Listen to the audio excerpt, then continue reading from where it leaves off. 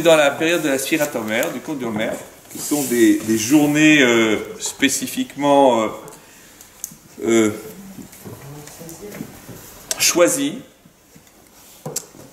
comme moment d'élévation spirituelle, puisqu'on se prépare à Kabbalah Torah, à la réception de la Torah, au moment de la fête de Shavuot.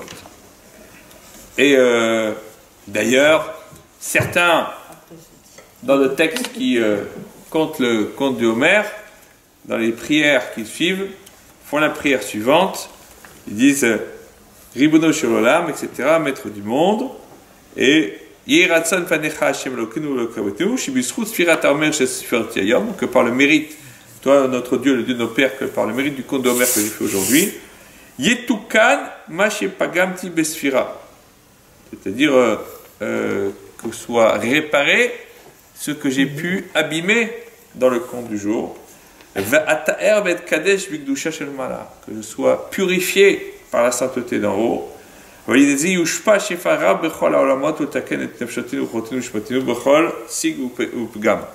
que grâce à ça, tous les mondes soient réparés et que nos âmes et nos, euh, et nos souffles euh, soient euh, euh arrangés, euh, méticuleusement nettoyés, réparés.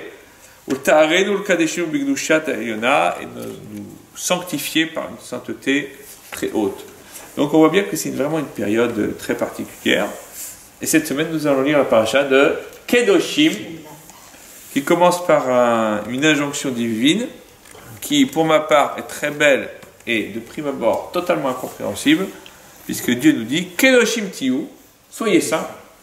Et pourquoi. Qui Kadosh Ani, car moi je suis saint. Comme si on pouvait être même sur le même, euh, hein, sur le même niveau que le Créateur. Donc la première question qui nous vient naturellement à l'esprit, c'est mais attends, tu nous demandes d'être saint à toi, oh mon Dieu, mais, mais on n'est pas à ton niveau. Comment tu veux qu'on soit à ton niveau? C'est Biltif Chéri, c'est pas possible.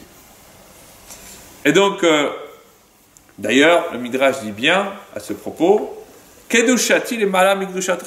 Ma sainteté est bien au-delà de la vôtre. Donc, euh, c'est déjà que les dés sont pipés, si je puis m'exprimer ainsi. Donc, c'est une mention qui nous semble totalement irréalisable. Et de surcroît, dans la foulée, le texte de la Torah nous dit, rajoute trois injonctions. Ki. Donc il y a la mitzvah de Kedusha, l'ordre de la sanctification. Après, qu'est-ce que l'on dit? Ish imove. Un homme craindra sa mère et son père dans cet ordre. Donc il y a la crainte de ses parents, deuxième ordre. C'est inversé, vous avez trois mitzvot qui vous sont balancés comme ça. Et le troisième, que de prime abord on pourrait prendre comme le cheveu qui débarque sur la soupe, encore, alors là on comprend encore moins le rapport. Et mais Shabbat vous observerez. Le respect du Shabbat arrive en troisième position. Et donc, euh, la question qui se pose, c'est quoi le rapport entre les trois Naturellement. Le texte biblique n'est pas là pour nous balancer des choses sans raison. Quel est le rapport entre ces trois commandements? Alors, Rachid d'ailleurs à ce sujet, pour commenter Kedoshimti où vous serez ça, dit, ça fait référence à tous les interdits sexuels de la Torah, et nous dit que le simple fait de les observer, c'est déjà un moyen de, euh, se sanctifier. Euh, pas d'inceste, pas d'adultère, pas de tout ce qui peut euh, être considéré comme abominable par la Torah. Le Ramban, Nachmanide, lui, que dans le sens de ce verset, c'est l'idée que même s'il y a des choses qui sont permises, et il y en a beaucoup, le fait d'en user ou d'en abuser n'est pas forcément bien. On peut parfaitement se retrouver dans la situation de ce qu'on appelle Naval Birshuta Torah. C'est-à-dire que je suis dans la lettre du droit, mais je ne suis pas dans l'esprit. C'est vrai, par exemple, la Torah, elle t'autorise à boire du vin. Rien à dire, j'ai le droit de boire du vin. S'il est cachère, j'ai pas de problème. Je fais les bénédictions avant, après, il n'y a pas de problème. Mais est-ce que j'ai le droit d'en abuser? Est-ce que j'ai le droit de m'enivrer? Alors, on pourrait dire, mais je fais, moi je respecte la lettre de la loi. Mon vin il est cachère, je fais tout ce qu'il faut, j'abuse, je picole. Non, je picole pas, je vous rassure. Mais, donc, euh, euh, c'est permis. C'est vrai, suivant la lettre, c'est permis. Mais dans l'esprit, ça ne convient pas. D'ailleurs, on pourrait même aller plus loin et se dire qu'en réalité, il y a notre rapport avec les biens matériels, il y a notre rapport avec la nourriture, et là aussi, à chaque fois, on doit se poser la question, c'est vrai, c'est permis, mais est-ce que c'est bien? Parce qu'il y a beaucoup de choses qui sont permises, mais si on, pousse le bouchon, on sort de l'esprit de ce que la Torah, les Khamim, les sages d'Israël nous ont demandé de faire. Alors, le Talmud de Jérusalem, Yerushalmi, nous dit que, en réalité, quand Dieu dit Soyez saints, car moi je suis saint, il faut, pour expliquer tout cela, remonter à autre chose. C'est l'idée de dire que Dieu lui-même accomplit les commandements de la Torah. Parce que, eh bien, c'est le fondement même du judaïsme. Il y a l'idée que l'on ne peut exiger de l'autre que ce que l'on applique soi-même. Donc, euh, vous ne verrez pas quelqu'un qui va vous dire euh, faut manger cachère, faut mettre tes il faut faire Shabbat, et lui-même bafoue ses commandements. Oui, c'est n'est pas un enseignement euh, purement scolastique, c'est pas un enseignement universitaire, c'est un enseignement vivant. Et qui dit enseignement vivant dit vivant par l'exemple et par l'exemplarité. Et donc, quand Dieu dit observez mes commandements, bah, ça veut dire que lui-même il les, observe. D'ailleurs, c'est pour cela que le Bnei Issachar, lorsqu'il euh, analyse le texte que l'on récite quand on accomplit un commandement, une mitzvah, par exemple, quand on met les téphilines, qu'est-ce que l'on dit? Mais soit-il l'éternel, maître du monde, roi du monde, Asher des Chanou, qui nous a sanctifiés, Bemitzvotav, par ses commandements, Vetsivanu, et qui nous a ordonné. Qu'est-ce que ça veut dire qu'il nous a sanctifiés par ses commandements Parce que ça veut dire que c'est lui-même qui les accomplit. C'est-à-dire que le Israël dit, ben, c'est Dieu lui-même accomplit les commandements qu'il nous a ordonnés. D'ailleurs, le Talmud dans le traité Barachot nous dit D'où sait-on que Akadash Baruch met les téphilines? D'où sait-on qu'il prie Et on répond Dieu met les téphilines. Dieu. Qu'est-ce qui est marqué dans les téphilines du mon Dieu? Mikamecha Israël Goyechad Ba'aretz.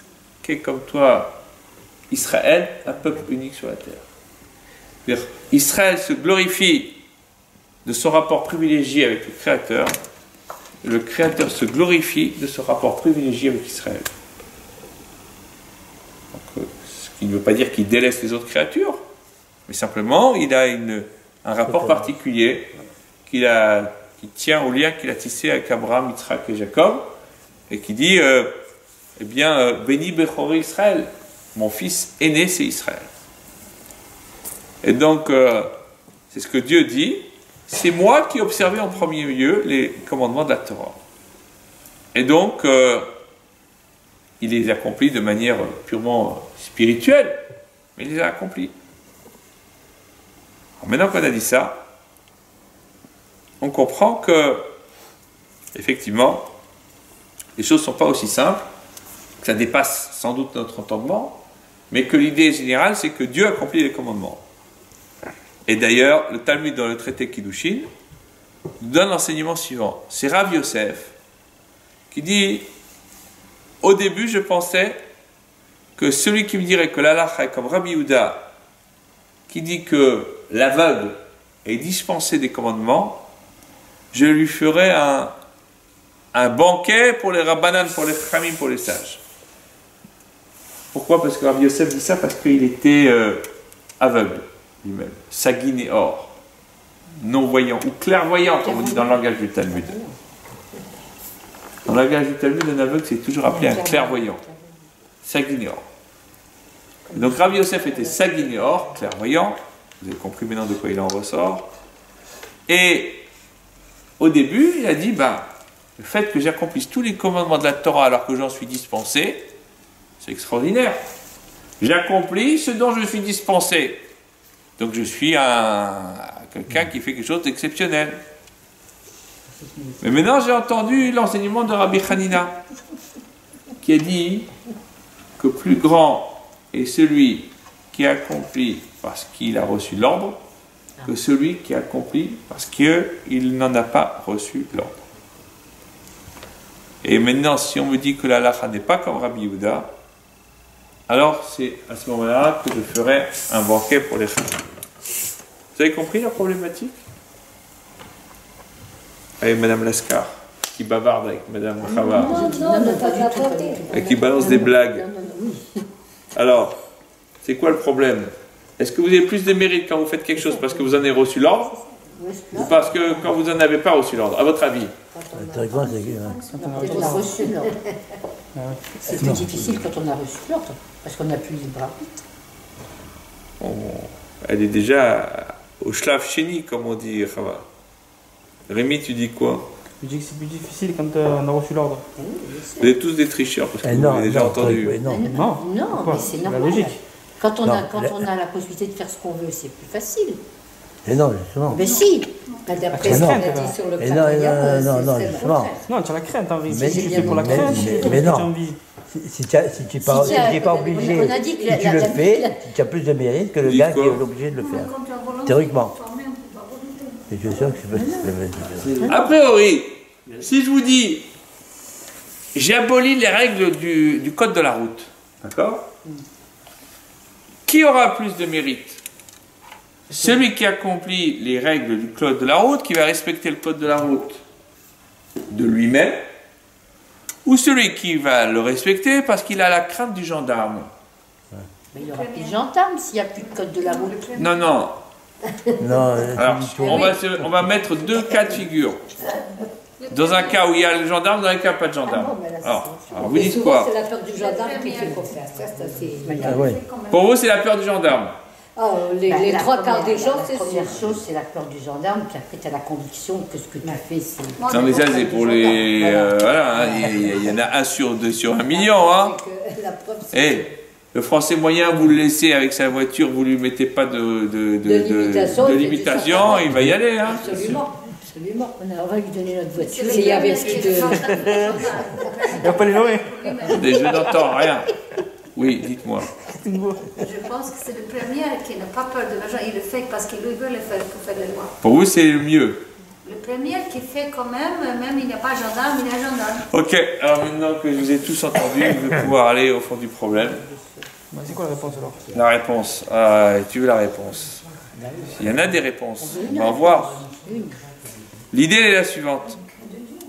C'est que la halacha, elle est que Gadol Metsuve Mirose, mi Mishino Metsuve Ose. Celui qui accomplit parce qu'il en a reçu l'ordre est plus grand que celui qui a accompli de son propre chef. Pourquoi?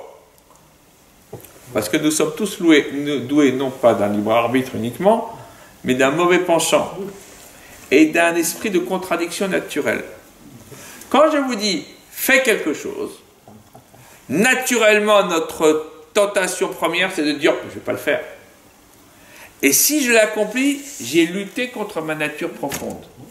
Donc, cette lutte qui aura fait que j'aurai suivi cette injonction qui m'a été donnée, eh bien, elle va me procurer un mérite plus grand que si je le fais de mon propre chef.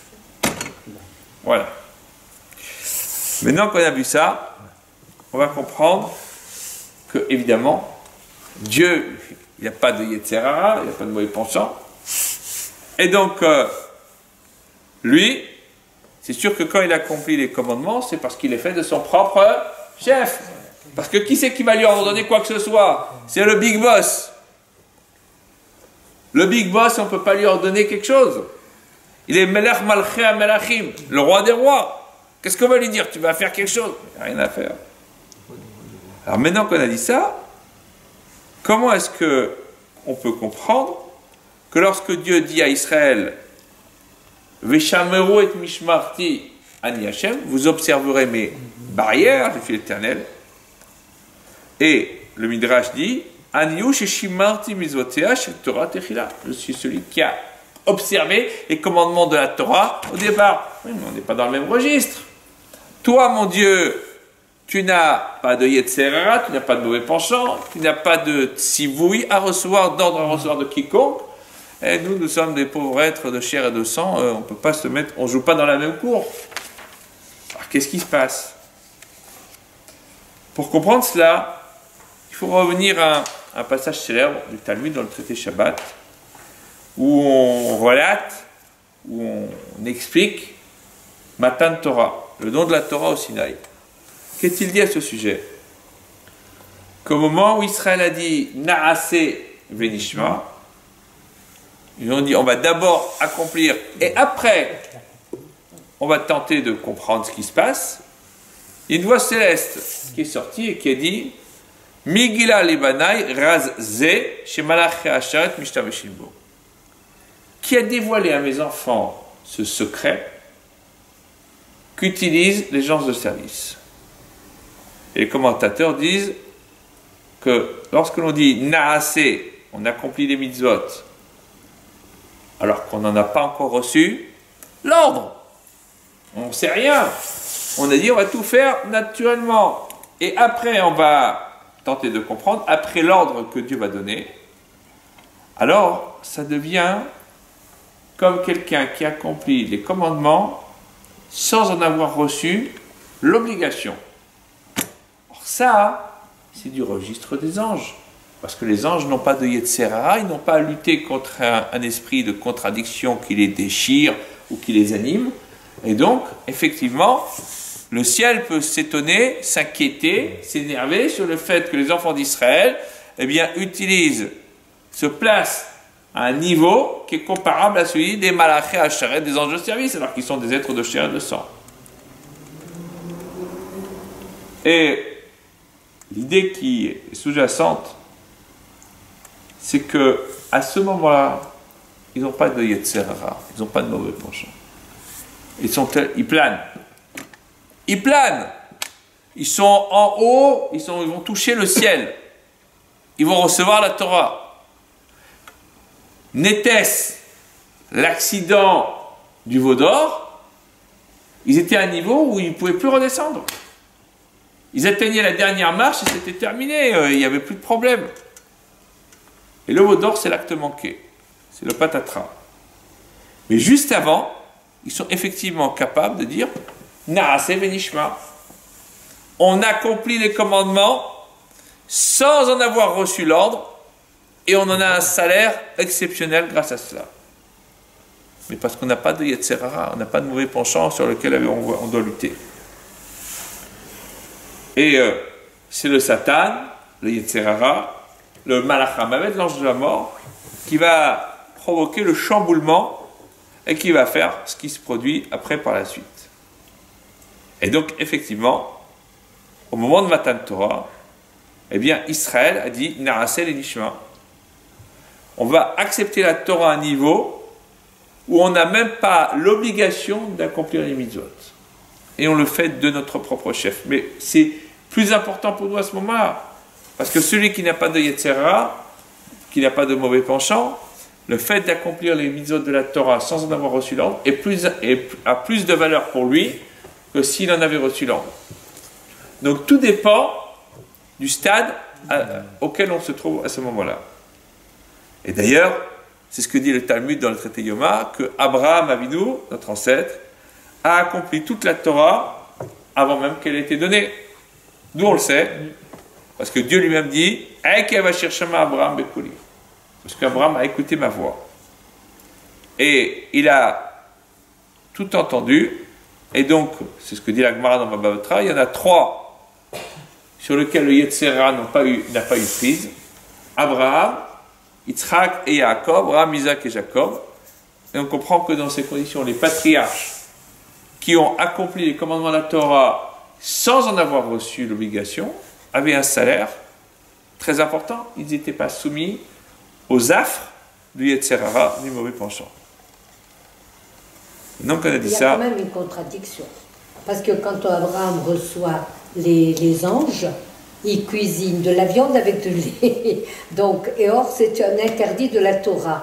Donc, comment peut-il avoir fait ça si euh, moi, j'a- j'avoue qu'il y a des choses. J'aimerais que les questions soient posées après. Vu qu'on n'est pas Shabbat, on peut noter. Et il suffit de lire le commentaire de Rashi sur la Torah qui vous dit qu'en réalité, c'est- le, le beurre a été mangé avant et que ça n'a pas été cuisiné ensemble. Qui vous a dit, dans le texte, c'est jamais marqué qu'ils les a cuisinés ensemble. Non, Il a dit, alors voilà, il a dit, amène, tu vas amener du beurre et de la viande. Où vous avez vu qu'ils sont cuisinés ensemble? C'est pas marqué. Ne- N'extrapolons pas. Maintenant, j'aimerais continuer dans mon fil. Alors, et puis de toute façon, les commandements de la Torah n'engagent nullement les patriarches, puisqu'ils le font de leur bon vouloir. Tant qu'on n'a pas reçu la Torah au Sinaï, on n'est pas engagé. La preuve, eh ben, Jacob, qui constitue l'aboutissement des patriarches, il a quand même euh, épousé deux sœurs, ce qui est un interdit gravissime de la Torah. Dans certaines conditions. Dès qu'il n'y a aucune condition, c'est un interdit gravissime. Celui qui épouse deux sœurs, c'est Chayav Karet. Les enfants qu'il a avec la deuxième sœur sont Mamzerim. Il n'y a, y a pas de discussion. C'est du lourd.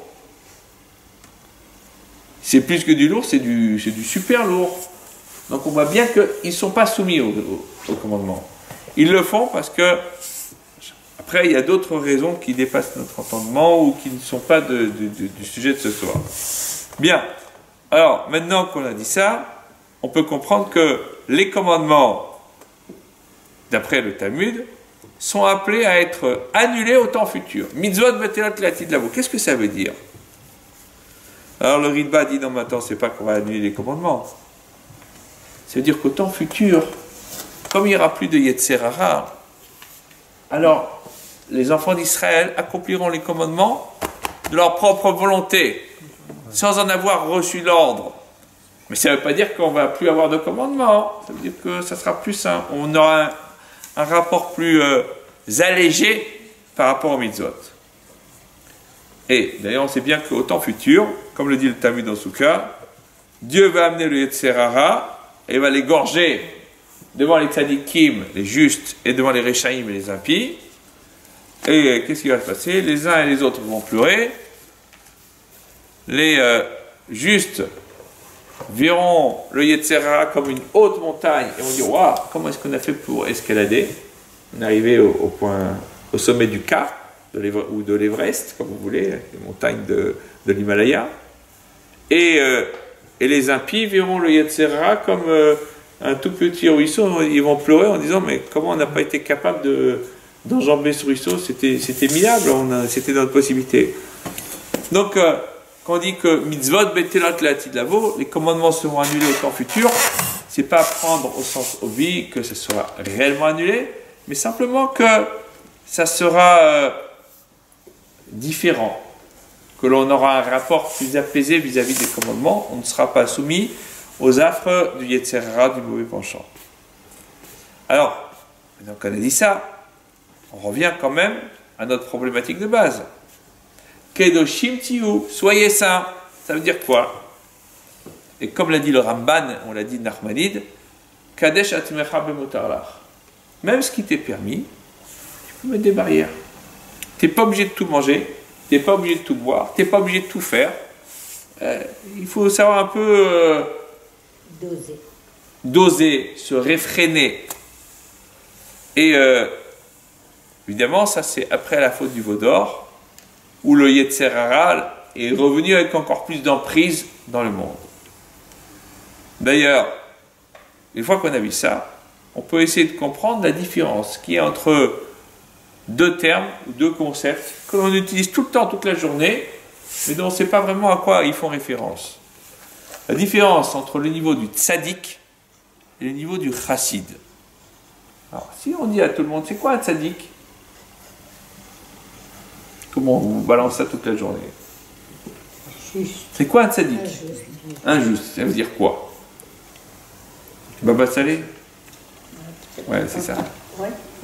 Ça veut rien dire. Vous dites quoi, un tzaddik Ah, qui, qui fait. Bah, Il y a beaucoup de tzaddikim. hein. Et un chassid, c'est quoi? Recède, c'est recède. Le racine, ça vient de recède. Mais c'est quoi un chassid Non, mais je vous demande, c'est la racine du recède. Oui, ça vient de la racine de chassid. La bonté, alors Non, je sais pas, je cherche. Oh, peu cher. On, entend, on emploie plus souvent le mot tzaddik que chassid. Ouais. Déjà. Ouais. ouais. Mais dans le, le- Alors, on va vous parler de chassidoute, mais la chassidoute telle qu'on la parle aujourd'hui, c'est celle qui, est- qui découle d'un mouvement qui a été fondé en, en Ukraine par Rabbi Israël Baal Shem Tov au XVIIe siècle. Donc, euh, c'est pas de ça dont on parle. Le chassid du Talmud, le chassid de la Gemara, c'est pas ça.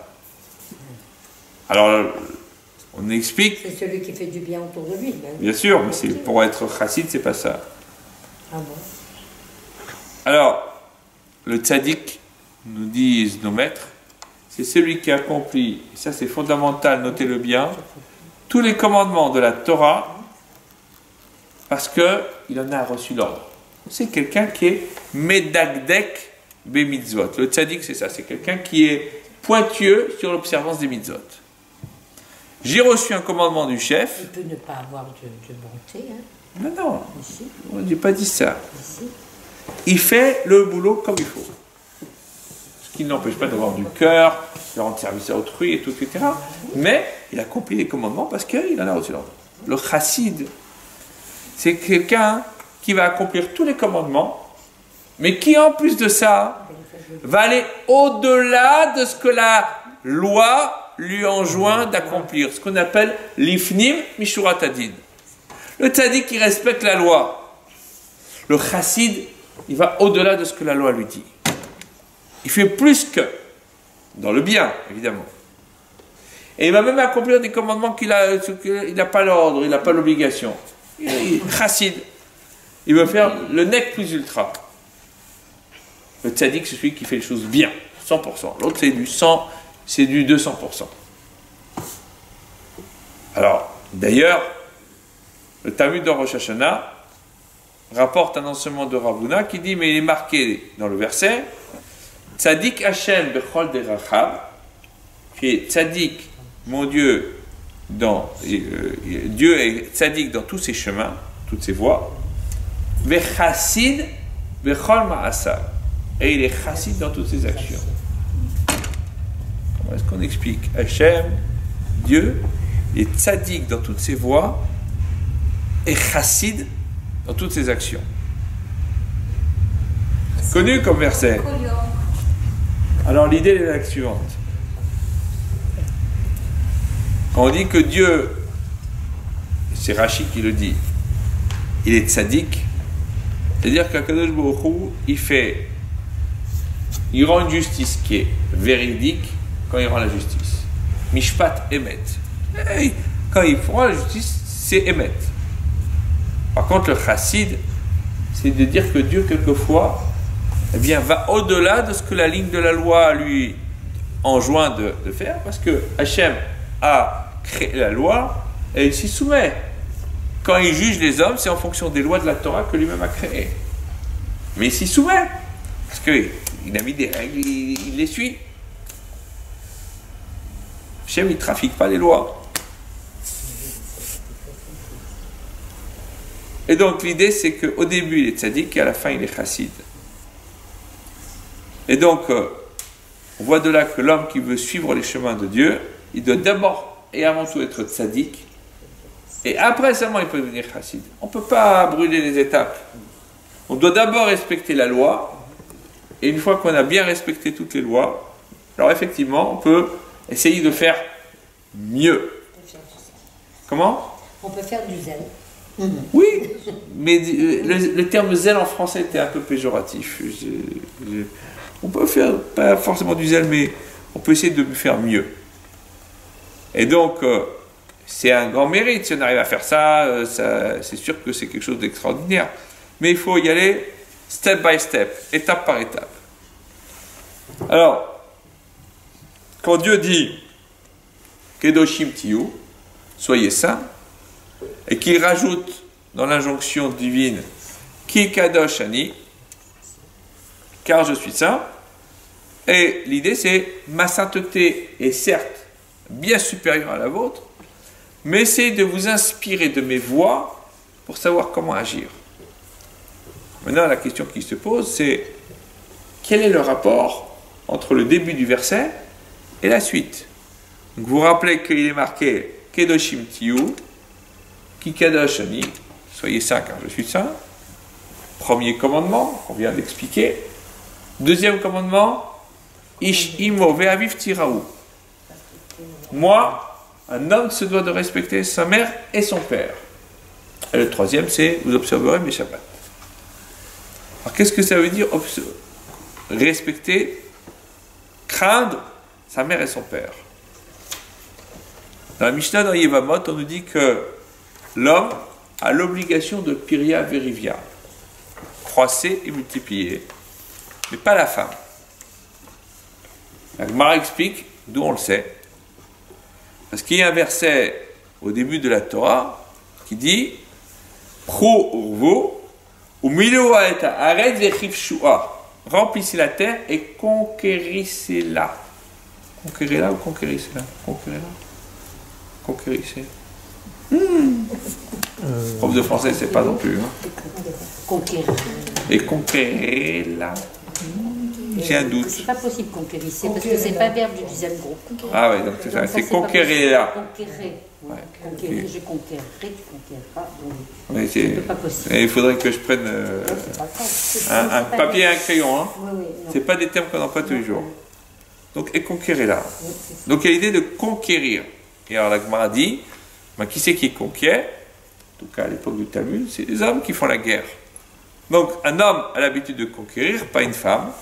Et donc, c'est, et c'est ce que dit d'ailleurs le Shulchan. Comment? C'est sexiste. Oui, j'assume parfaitement. Mais j'assume parfaitement. hein. Non, c'est pas sexiste. faut arrêter de voir le mal partout. Et on vit dans une civilisation où, à force de voir du sexiste à toutes les sauces, ben, finalement, euh, C'est factuellement faux. Mais parce que les femmes, elles font la guerre. Aujourd'hui, ouais, elles font la guerre à la maison déjà. Elles ont gagné déjà d'avance. hein. Non, ça, vous me coupez ça de la caméra.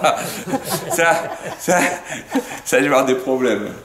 Elles ont déjà gagné d'avance, Henri. euh, donc voilà. Donc elles ont pas besoin de faire la guerre. Donc, ils n'ont pas besoin de faire la guerre, c'est pour ça qu'on les envoie pas au feu. Bon. Donc, l'homme a l'obligation de, de, de, de- de croître de multiplier, et pas la femme. Alors, la question qui se pose, c'est. Attendez, si on interrompt, on est là jusqu'à 2h du matin et j'ai pas le temps pour ça, ou non plus peut-être, mais moi sûrement pas. Donc euh, on va essayer d'aller jusqu'au bout, tranquillement, et après, peut-être, on prendra le temps pour des questions. Donc les commentateurs se sont posés la question, ils disent, mais attends, mais la mitzvah de Piré à de croître et de multiplier, c'est une mitzvah super importante, dans laquelle tient toute la fondation de l'humanité, mais du clan d'Israël, du peuple juif. S'il n'y a pas de, euh, s'il n'y a pas de d'enfants, il n'y a plus de peuple juif. Alors comment est-ce que on peut dire que c'est juste les hommes qui sont impliqués là-dedans et pas les femmes? C'est une question qui s'est posée depuis longtemps. Alors pour répondre, on va rapporter ce qu'enseigne la Mishnah dans Kiddushin. Il nous dit que à Ish Mekadesh Bo Bishlucho, quand on remet l'anneau, Kiddushin, à la femme, on dit l'homme, eh bien, enfin, l'anneau c'est tout récent. hein. Avant c'était une pièce de- une pièce d'argent. Donc euh, euh, Sur la Ketouba, il y a de l'argent, il y a une somme. c'est autre chose, ça n'a rien à voir. Hors sujet. L'homme. Je suis vraiment le méchant de service, c'est- dur. hein. Oh non, je veux pas une classe de 30 élèves, hein, parce que ça serait foutu. Ah non, vous inquiétez pas, j'en ai tenu. J'ai tenu. Avec... J'ai tenu des, des classes de 15 élèves. 15 15, 20, sans problème. Ne vous inquiétez pas, avec moi, ils ne branchaient pas. Ils sont pas intérêts. Donc, euh, l'homme euh, euh, donne lui-même ou par le biais d'une autre personne, beaucoup bishkuchot. Et la femme peut recevoir cette pièce elle-même ou par le biais d'une autre personne. Elle peut avoir un mandataire. D'accord? Il n'y a pas de problème. Alors, euh, la Gemara dit, ben, si déjà par le biais d'un envoyé, il peut, alors à plus forte raison par lui-même, donc il n'y a pas besoin de le mentionner, il n'y qu'à dire, il peut donner l'argent, ou les kiddushin par le biais d'un envoyé, d'un mandataire, et la femme aussi. Alors, euh, on y dit, Rabbi Yosef conclut, il dit, mitzvah bo yotam. Oui, mais c'était pour nous apprendre que, bien qu'on puisse le faire par le biais d'un mandataire, c'est quand même mieux de le faire par soi-même. Alors la question qui est posée, c'est la suivante. Étant donné qu'on a dit que la femme n'a pas l'obligation de Piria Verivia, comment est-ce qu'on peut dire à propos de la femme que de recevoir les kiddushin par elle-même, c'est mieux que de le recevoir par biais d'un non envoyé? Puisque de toute façon, elle n'a pas d'obligation. Alors, pourquoi on dit ça? Réponse. Parce qu'en vérité, même si la femme n'a pas d'obligation stricto sensu, elle a quand même un mérite. Puisque elle accomplit quand même cette mitzvah, qui ne peut pas se passer sans elle. Hein. Ça, c'est Biltif Shari. Comme quelqu'un qui accomplit une mitzvah sans en avoir reçu l'ordre. Alors que l'homme accomplit la mitzvah comme quelqu'un qui a reçu l'ordre. Et alors là, vous allez voir que l'on renverse totalement la vapeur. Vous m'avez dit que c'était sexiste. Si on me laisse parler, on va y arriver. Mais en réalité, si vous vous placez dans une société idéale, une société sans Yetzerara, une société hantée la faute originelle, eh bien en vérité, celle qui a le plus grand mérite, c'est la femme. Parce qu'elle accomplit un commandement sans en avoir reçu l'ordre. Alors que l'homme,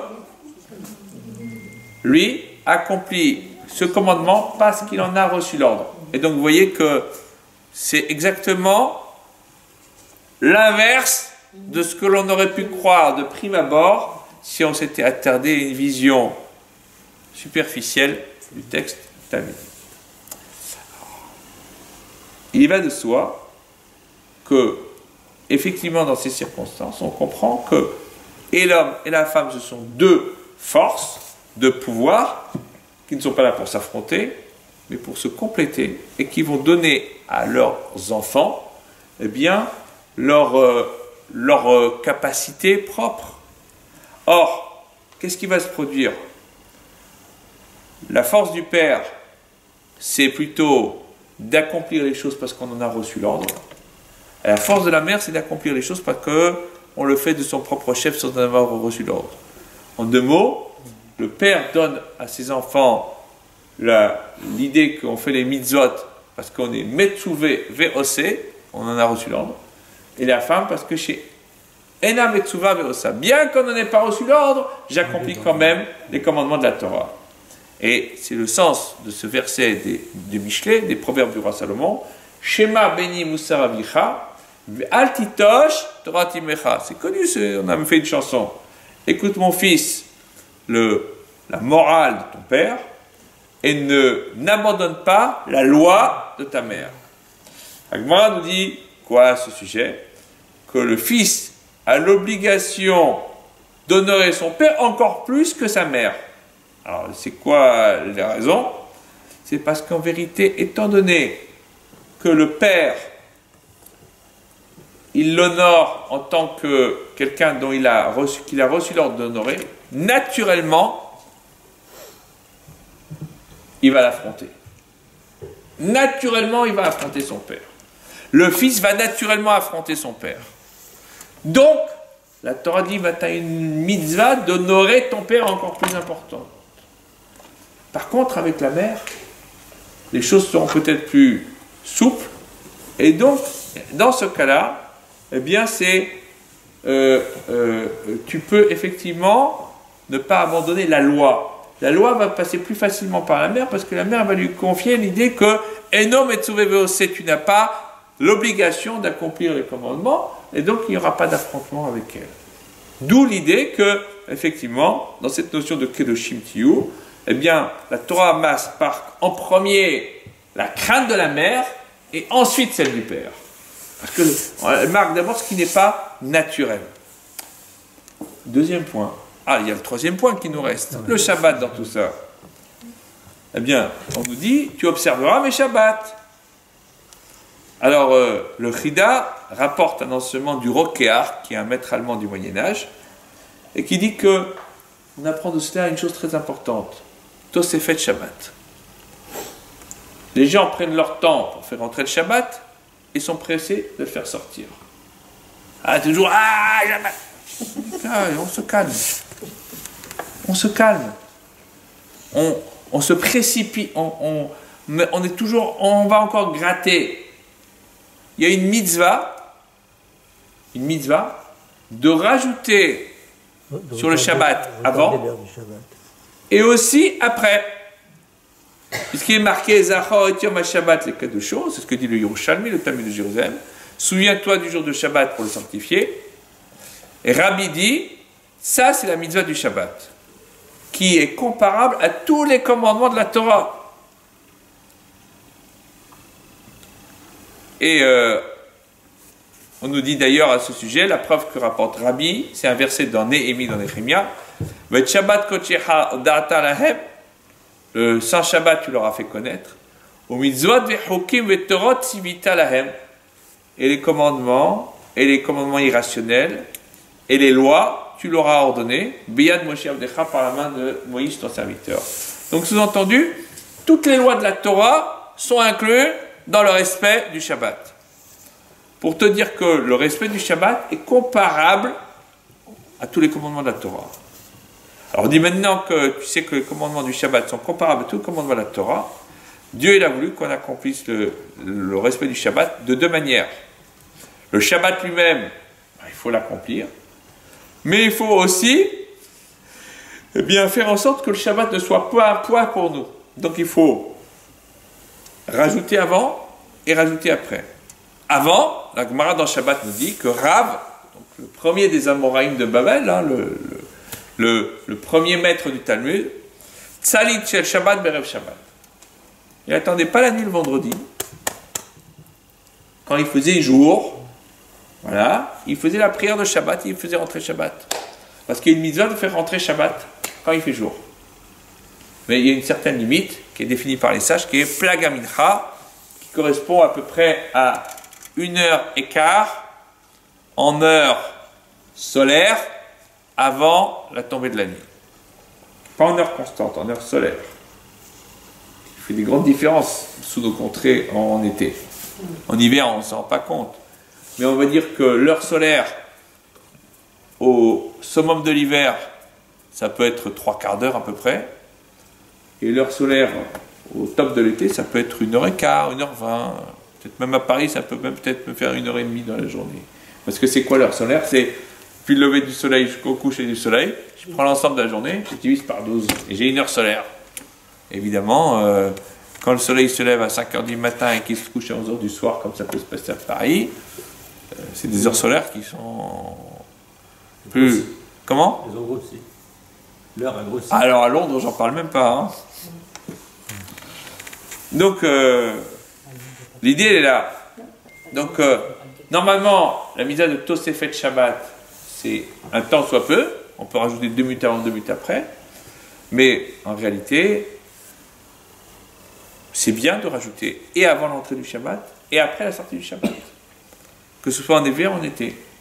Voilà. Pourquoi? Parce qu'il y a une mise à. Je veux dire, le Shabbat, ça ne doit pas être considéré comme un poids et on ne doit pas, à moins qu'il y ait une urgence absolue, que voilà, quelque chose de, très important.